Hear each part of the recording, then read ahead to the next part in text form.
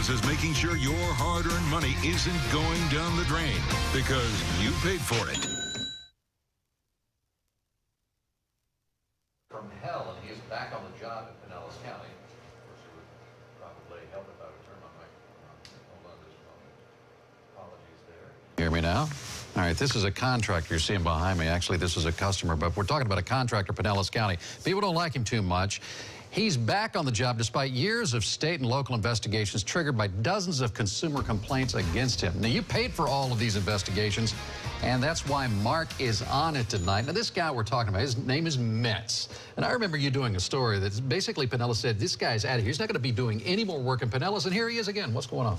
Simple answer to that, Keith. He's using, working under somebody else's license. Now, our investigation determined that's perfectly legal. But former customers insist that doesn't make it right. Last spring, the county licensing board basically banned Rick Metz from running construction jobs in Pinellas. So imagine our surprise finding Metz at this Clearwater job site. Hey, Rick, how you doing, buddy? Good, how are you? Good. Looks like you got a new project going here.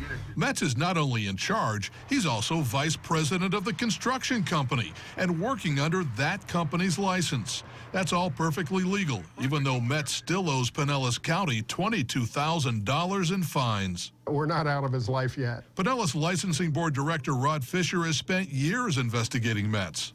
The jobs just languish and don't get done. Fisher insists it's now up to the state. We have forwarded our documents up to the up to the state and hopefully they'll move forward. Over the course of an entire year, the state agency you pay $152 million to protect consumers spent a total of just eight hours investigating James Moncrief's complaint against Metz. We had to tear out everything he did, everything he did, tear it completely out. But after Metz declared bankruptcy last July, the state dismissed that case. We pay the Department of Business and Professional Regulation about $150 million a year to protect consumers. Did that agency protect you? Not that I know of. Terry Taglia doesn't feel protected either. Metz remodeled her bathroom without a permit, dragged it out for seven months, and according to Taglia, he botched the job. Because right now he has a clear and active license and good standing with the state of Florida. It, it, it, that's astonishing. That's really amazing. And remember the bankruptcy that got Metz out of trouble with the state? Well, Metz swore to the court he drives an 18 year old Ford van. But we just saw him behind the wheel of a 350Z, which he didn't stick around to explain. Nice wheels, too.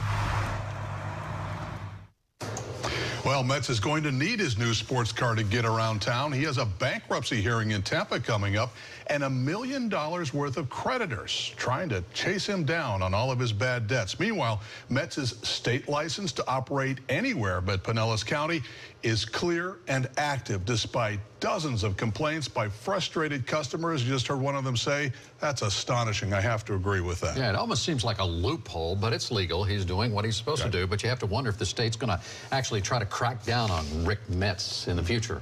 Well, as we pointed out, the DBPR, which investigated Metz, blew its investigation with that foot dragging. They invested a total of 15 hours over a year's time, so they beat him to the punch on that. But we understand that our investigation is getting some attention in Tallahassee, so stay tuned. There may be a change in all of that. All right, a follow-up perhaps to come. Thank you, Mark Douglas.